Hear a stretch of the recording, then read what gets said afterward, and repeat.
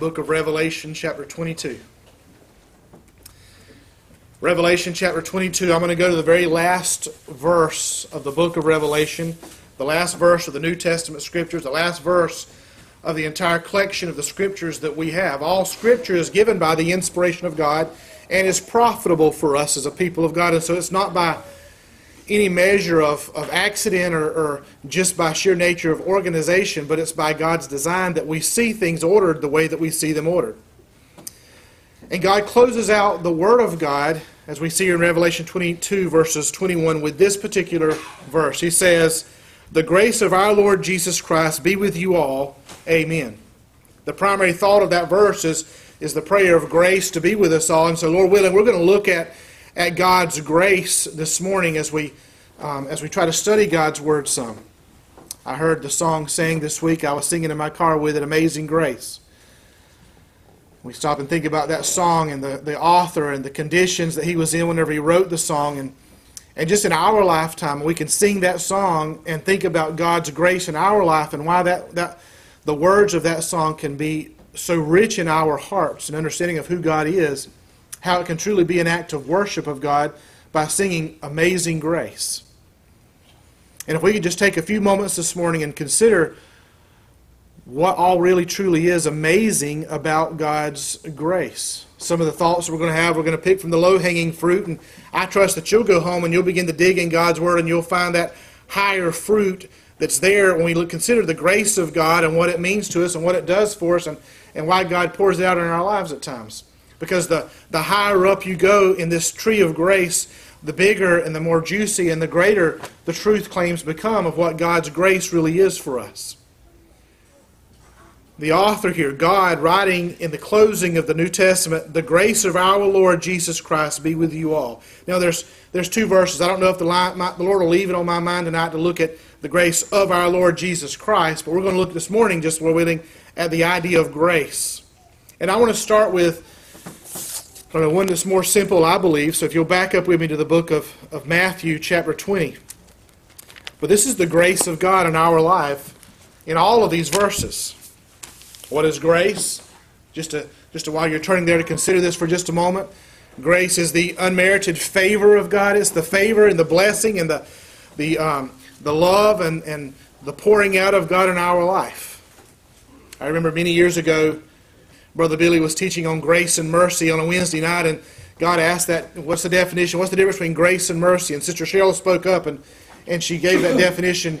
Grace is God giving us something when we don't deserve it. That's just a beautiful thought in that definition alone. God, I don't deserve it, yet God gives. In His abounding grace and His the depth of His grace, He pours out and He gives and He gives and He gives because God is full of grace. It gives a, de- a description of Jesus in John chapter 1 as it's talking about who Jesus is. And it says, Jesus is full, not just partially there, not three quarters of the way, but full, running over, full of grace and truth. As we think about the, the grace that's been given and poured out in our life because of who Jesus Christ is, I'm thankful that Jesus is full of grace and the well of grace that He has and He is, it never dries up. It's always there for us. But the first aspect of grace that I want to look at is, is one that kind of is a beginning point for us. Matthew chapter 20 here. Let's look in beginning in verse 30, where the Word of God reads, And behold, two blind men sitting by the wayside, when they heard that Jesus passed by, cried out, saying, Have mercy on us, O Lord, thou son of David. And the multitude rebuked them because they should hold their peace. Now, I like how it works because they should hold their peace. There's nothing about these two blind men sitting by the wayside that's in the in the a cultural context context necessarily that is of any significance about them. They're just two blind men sitting on the wayside. That's how it how it kind of describes them there. But they begin to cry out, "Have mercy on us, O Lord, thou son of David." And because of their crying out after Jesus to have mercy on them, the people, the multitude, are saying, Hold your peace. And then it goes on in verse 31 and says, But they cried the more, saying, Have mercy on us, O Lord, thou son of David. And Jesus stood still and called them and said, What will ye that I shall do unto you? Now they're crying out for mercy. I know we're not seeing the word grace here, but I'm going to make this applicable to every one of us in this room in just a moment. We're not physically blind, but there is a spiritual blindness on our part. And but by the grace of God, we would still be spiritually blind, just as these two men here are naturally blind. And they've not done anything to deserve God's favor to be placed on them, as we're going to see Jesus do here in just a moment in this passage. Yet they're sitting by the wayside, nothing more than just mere two blind men there. They should be holding their peace. They shouldn't be crying out. Yet they cry out, Jesus, have mercy on us. And that is exactly like you and I as a people of God here this morning. There is nothing in us that gives us any right to cry out to Jesus, say, Jesus, open my eyes that I might see. Every time we sit down and we take the Word of God and we open it up and we begin to read the inspired Word of God, there is no right that we have to demand of Jesus Christ to reveal what that Scripture is really teaching us. It is the grace of God. It is His good pleasure. It is His goodness toward us that whenever we sit down with the inspired Word and we read a passage like what we're reading here this morning, that God opens our understanding. He opens our eyes that we might see. And not just see words, not just see sentences, we might see Jesus Christ in those words that we're reading. That is the goodness of God toward us. That is His grace with us. That He would open our eyes just as He opens the eyes of these two blind men here. Let me finish reading the passage now. Verse 33 They say unto Him, Lord, that our eyes may be opened. So Jesus had compassion on them he had compassion on them and touched their eyes, and immediately their eyes received sight, and they followed him. I, I just, I, I love that passage whenever I was considering grace this week and praying through that. There's truly nothing in me that deserves to be a follower of Jesus Christ, to even call myself a Christian. And so, why am I able to call myself a Christian? Why do I see Jesus Christ at times and desire to follow Him. Out of God's grace, He opened my eyes. He's opened your eyes. And by His grace, He gives us insight and He gives us wisdom that we might see Jesus through the pages of Scripture. That we might see God answer prayers and how He works through prayers. Brother Billy is strengthened. I went and saw him yesterday, and to be able to sit with him and see the joy on his face and see what strength is there in him and to see him talk and share and rejoice as he's watched God do so many different things. We may say, brethren, that the medical doctors in that hospital was just absolutely wonderful in how they treated him. And they finally figured out how to get his medications and his procedures just right. But that's not truth. It's God working through those doctors and medications to bring him the health that he needs. And it is God's grace in our life to open our eyes that we might see God has heard your prayers. God has answered your prayers. God has lifted him up to allow us to see a miracle. God has done these things not because we deserve an ounce of it, but in God's grace, He shows you as the God of the Old Testament, as the God of the days of the early church, He is still the God of the day, hearing prayers and being with his people and hearing their prayers and giving answers to their prayers that we might know and proclaim not just a miracle has occurred, but there is a Lord on his throne who reigns over us today that we might see Jesus Christ plainly in a situation like we see with Brother Billy. It is God's grace that opens our eyes.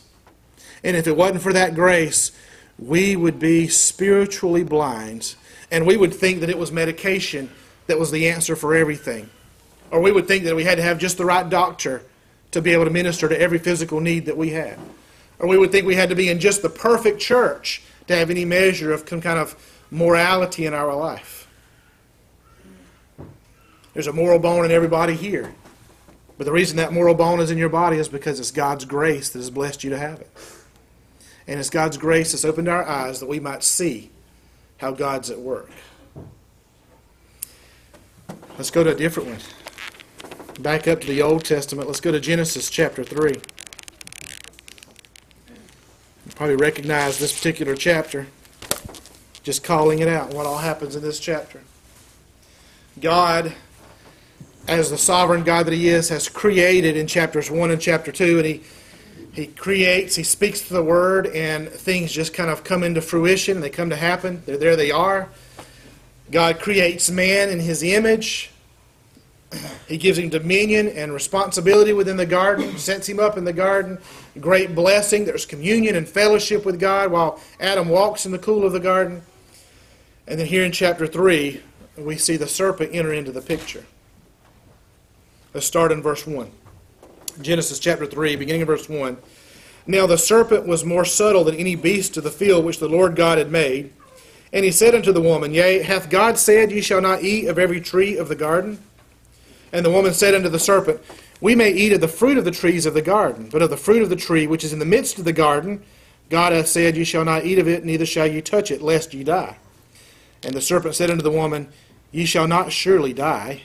For God, God doth know that in the day that ye eat thereof, then your eyes shall be open, and you shall be as gods, knowing good and evil.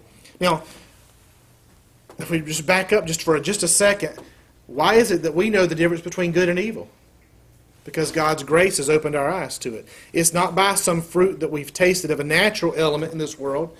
Satan's bringing in this idea to um, to Eve here that if you just eat that fruit, the forbidden fruit, then you'll know good and evil. But the reality is, God says, keep my commandments and then you'll live. God's opened our eyes to understand that if we follow Jesus Christ, we'll live. But if we do it our own way, or we buy into the lies of Satan, there's going to be death. And with death comes separation. That's the spiritual death that we see here in this passage of Scripture. We see, I'm going to skip down now. Eve looks at the tree and she sees that it is good looking and it looks delicious, and so she eats and she gives to Adam and he eats. And sin, the fall of mankind, now um, occurs here in chapter 3, and their sin, and they try to hide. They're ashamed. They're ashamed of their nakedness. They're ashamed of their, um, their condition now as a people of God. And they have rebelled greatly against God. One standard that God raised up you shall not eat of the tree of the fruit that's in the midst of the garden. Because in the day that you eat of it, you shall surely die. They deserve, Adam and Eve deserves eternal hell. And we all, because of that sin, deserve it as well. But I'm after the grace of God in this passage of Scripture. Go all the way down to chapter to verse 14 rather, rather in this chapter.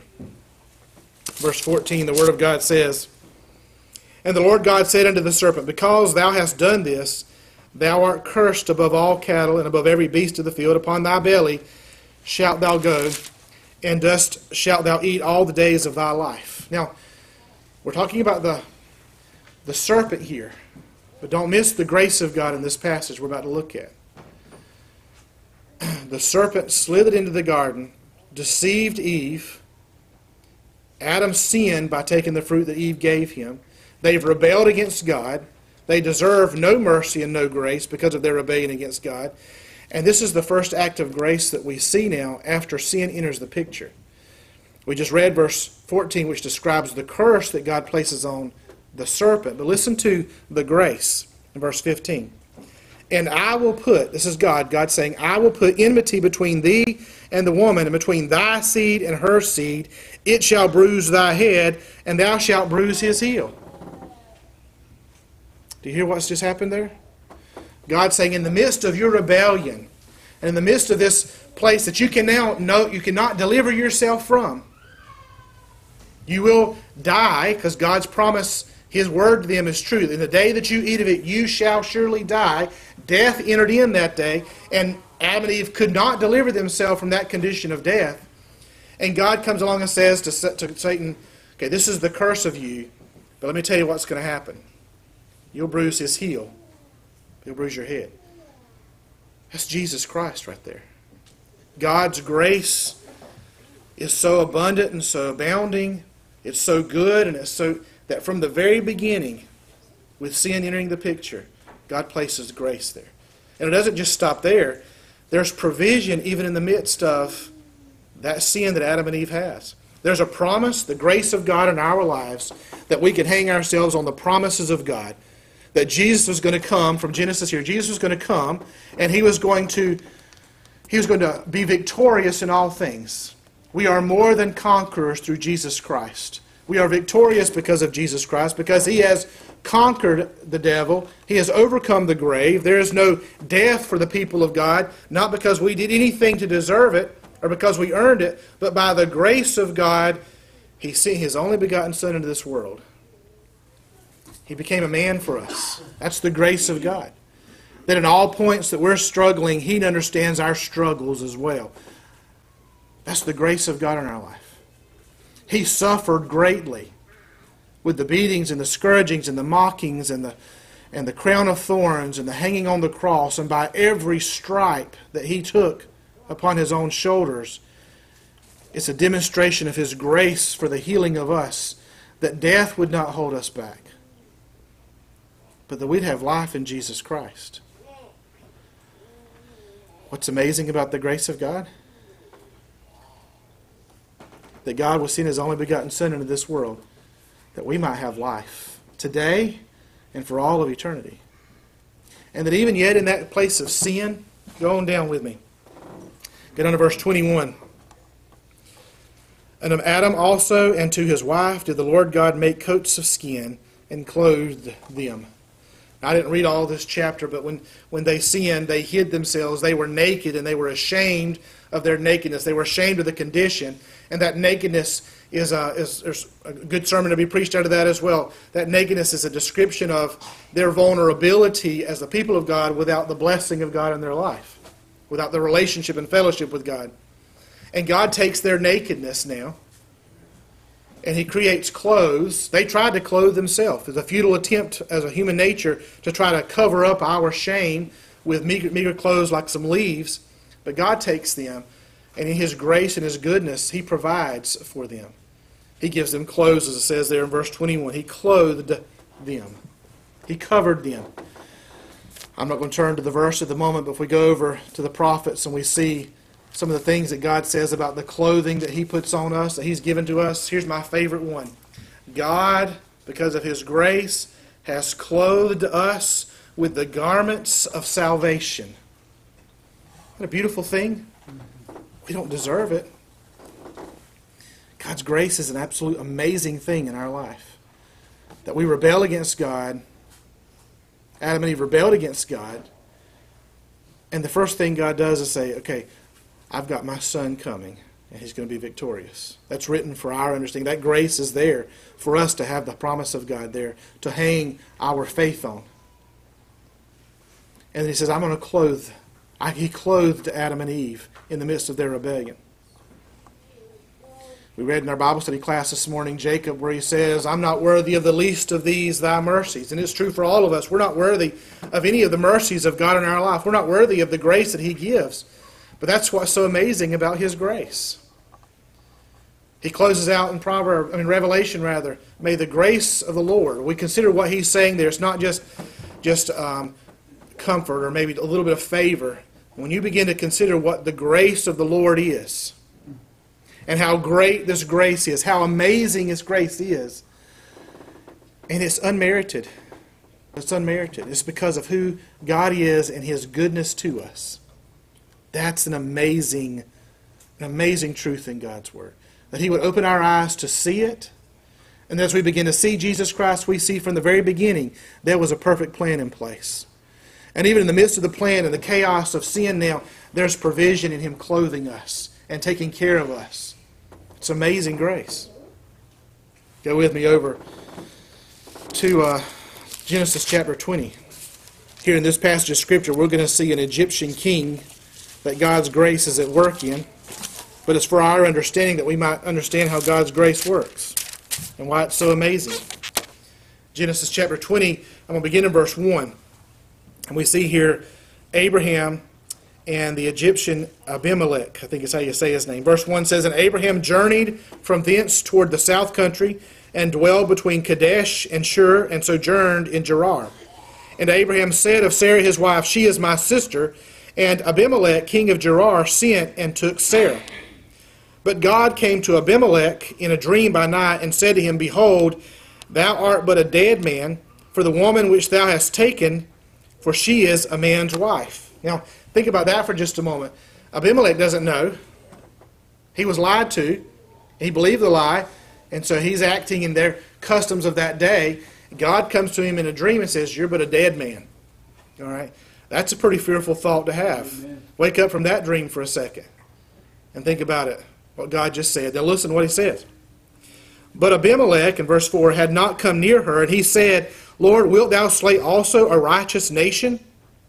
Said he not unto me, She is my sister? And she, even she herself said, He is my brother. In the integrity of my heart and innocency of my hands have I done this. Now I can't, you can't separate what Abimelech just said there with the next verse. In the integrity of Abimelech's heart and the innocency, innocency, I can't say that word, of his hands. He was innocent. Verse 6 And God said unto him in a dream, Yea, I know that thou didst this in the integrity of thine heart, for I also withheld thee from sinning against me. Therefore suffered I thee not to touch her. The grace of God demonstrated through Abimelech there is that he withheld Abimelech from, from sinning. Now we see it here in this passage of Scripture, brethren, because God has written it out for us. But I want to boldly say to each one of us in this room there are moments and days where we have no clue that God has, in His grace, withheld you from sinning against Him. And that is the abounding, we don't even know what we're doing. We're walking in darkness at the moment, or we're walking ignorantly to something. But if we're walking with, in integrity as believers in Jesus Christ, if we're trying to be faithful to God, it's the goodness of God and His grace that He pours out into our life to restrain us from doing something that our, in our flesh we intend to do, or in our flesh we arrogantly go about doing. Isn't that an amazing thing as well? God's grace to restrain Abimelech, someone who's not even a part of the nation of Israel there, but God's grace in restraining him. His grace is amazing. God's grace in restraining you from making a mistake and going into a sin that you're ignorantly headed into but God's love for you and His grace towards you is amazing in that He would restrain. I withheld, God says to Abimelech, I also withheld thee from sinning against me. God loves us that He would withhold us in His grace from sinning against Him. Now let's go to one other story here in Genesis and look at the grace of God. Let's go to Joseph. So, Genesis chapter 50. Great story. Joseph is a picture and a type of Jesus Christ in the New Testament.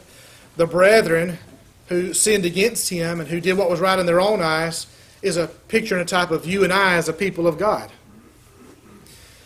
And just a quick story if you don't remember Joseph, he had 11 brothers, 10 brothers at that time. They um, sold him into slavery. He went to Potiphar's house as a slave. Um, he was lied against, and so he was thrown into jail. Um, he stayed in jail for a number of years, and the people who helped didn't remember him at first, to where eventually, by interpreting the Pharaoh's dream, he became second in command in all of Egypt. And you think about Joseph's life, there was great suffering, there was great struggle, there was great um, rejection, there was great deception placed on him. All of these things parallels kind of the story of Jesus, yet Joseph was a man who retained his integrity. He was a man who did what was pleasing to God. He knew his place with God. And so he, he didn't take those adversities and those problems that he was in when he was in the, the hole in the ground and then he was a, a slave in Potiphar's house or in the jail. He faithfully served God at all times. And then we know how God brings a great famine in the nation of Israel. And the brothers who had, are the ones who sold him into slavery have to stand before Joseph and they have to ask for food or they're going to die. And we come to this particular scene in, in Genesis chapter 50. I'm going to read verses 15 down through 21. Verse 15 says, And when Joseph's brethren saw that their father was dead, they said, Joseph will peradventure hate us and will certainly requite us of all the evil which we did unto him. They're remembering now all that evil that they have done to him, and they recognize we don't deserve any grace whatsoever. It's now come reckoning time. That's what they believe in their mind. It's now come reckoning time.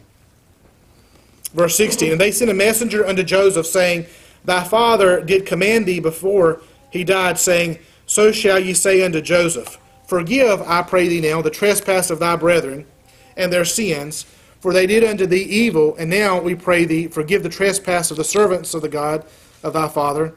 And Joseph wept when they spake unto him. And his brethren also went and fell down before his face. And they said, Behold, we be thy servants. And Joseph said unto them, Fear not, for I am in the place of God.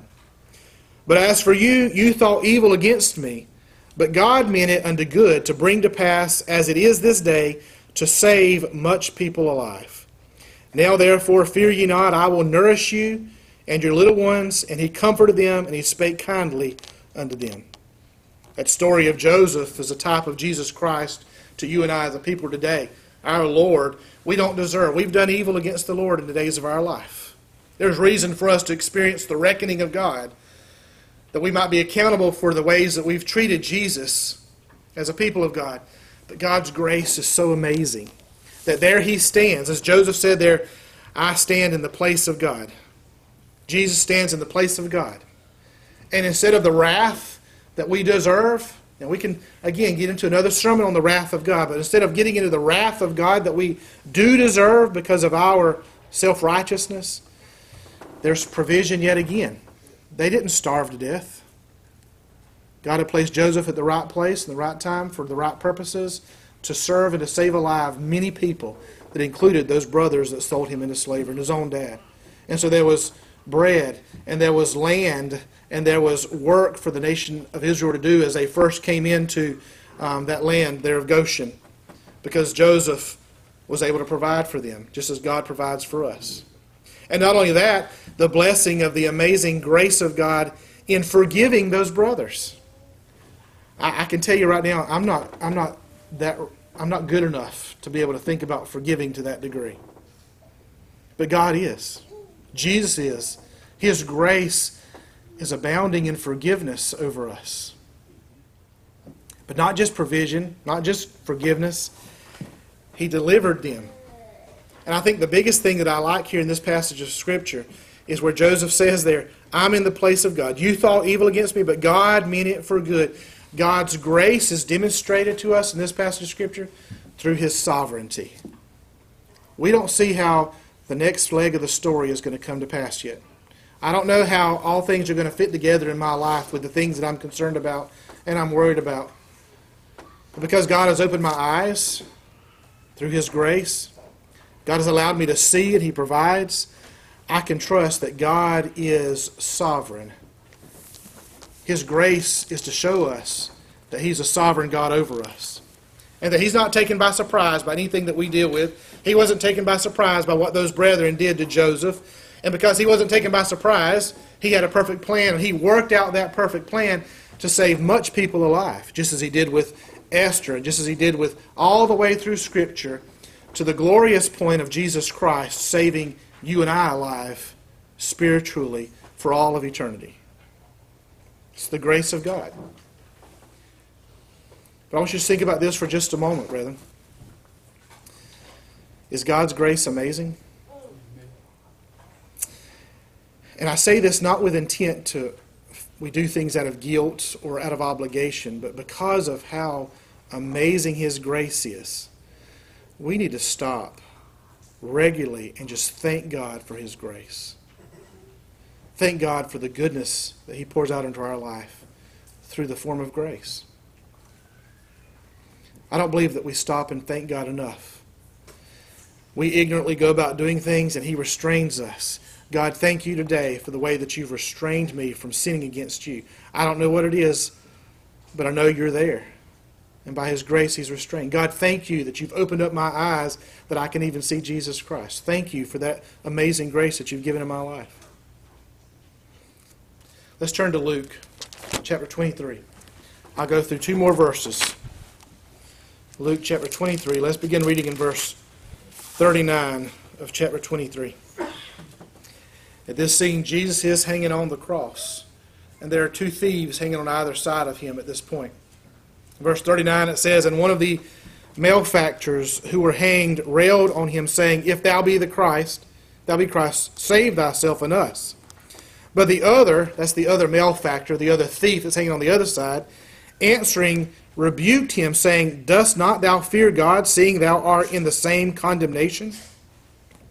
And we indeed justly, For we receive the due reward of our deeds. What he's saying there is we deserve this crucifixion that we're on. We deserve the punishment that we're experiencing at the moment. But this man, that's Jesus, hath done nothing amiss. Now, these next few verses is what I'm after. And he said unto Jesus, Lord, remember me when thou enter into thy kingdom. And Jesus said unto him, Verily I say unto thee, today shalt thou be with me in paradise. The dude's hanging on the cross. He's about to die. And he's lived his life riotously. He deserves the judgment that he's getting, he deserves the consequence of hanging on that cross. But God's grace is never too late. There it is with this malefactor who, who has that confession, who says, This man has done nothing amiss. Jesus, Lord, remember me when thou comest in thy kingdom. And Jesus' response, in an abounding grace, the man has not done anything to deserve it, yet Jesus says, Today, today, son, you'll be with me in paradise. The grace of God that's never too late in our life. There's been times where we feel like giving up in situations. Fine, I'm done. I deserve it. I'm, you know, good at self condemnation or whatever. And God's grace comes in at the 12th hour or whatever the old saying is. It comes at the last minute, but it's never too late. It's perfectly timed. So we think it's too late in our own thinking, but we don't think about grace the way we ought to think about grace.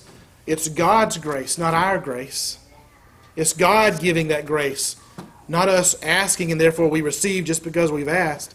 And so every time, every moment, that God gives that grace to you. It's perfectly timed, and it's never too late, and it's good toward us.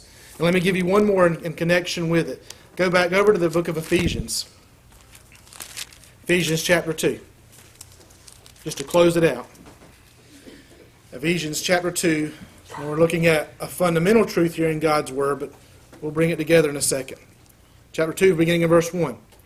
And you hath he quickened who were dead in trespasses and sins. That's the grace of God in causing us to be born again. And then go all the way down now to um, verse 8. For by grace are ye saved through faith, and that not of yourselves. It is the gift of God. Not of works, lest any man should boast. And so, what, how I wanted to close out this thought this morning about how amazing grace is. Now, that is talking about the eternal salvation that we have that came through Jesus Christ. But the um, grace that we see here in Scriptures, the word that it puts to it in Ephesians chapter 2, verses 8 and 9 there, it is the gift of God. Never too late, always purposeful, but it comes from God, and it's His great gift to us. My prayer is that we would think about the amazing grace of God in the days ahead. And that we would give thanks for the amazing grace of God in the days ahead. And if, with permission, you'll allow me to say, my prayer is that the grace of God would be with you all in the name of our Lord Jesus Christ. Amen.